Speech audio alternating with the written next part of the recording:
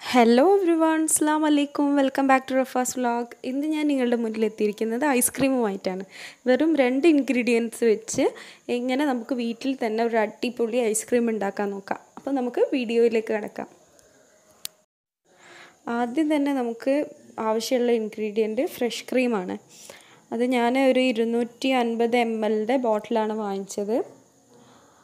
അമൂലിന്റെതാണ് ഞാൻ അമൂലിന്റെ ബ്രാൻഡഡാണ് ഞാൻ വാങ്ങിച്ചത്. അത് അത് മുഴുവനായിട്ട് എടുക്കാം.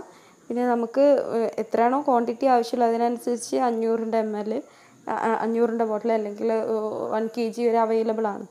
അപ്പോൾ അതിനനുസരിച്ച് നമുക്ക് കൂട്ടാം. പിന്നെ രണ്ടാമത്തേതായിട്ട് ഞാൻ എടുക്കുന്ന ചേരുവ മിഠായി മീറ്റാണ്. മിൽക്ക് മെയ്ഡോ ഏതായാലും കുഴപ്പമില്ല. കണ്ടൻസ് മിൽക്കാണ് ഞാൻ എടുക്കുന്നത്.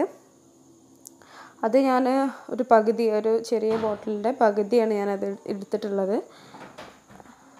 അതായത് ഒരു ഇരുന്നൂറ്റി അൻപത് എം എൽ ഫ്രഷ് ക്രീമിലേക്ക് ഒരു നൂറ് ഗ്രാം കണ്ടൻസ് മിൽക്ക്. അതാണ് കറക്റ്റ്. ഞാൻ ആ ബോട്ടിൽ ഇരുന്നൂറ് ഗ്രാമിന്റെ ബോട്ടിലാണ് അത്. അതിൽ ഞാനൊരു അതിന്റെ പകുതിയാണ് ഞാൻ എടുത്തിട്ടുള്ളത്.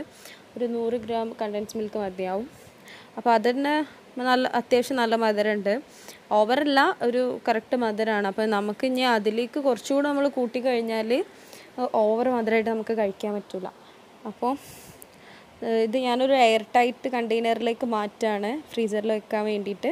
ഒരു മൂന്ന് മണിക്കൂർ മുതൽ നാല് മണിക്കൂർ വരെ നമുക്കിത് വെക്കാം.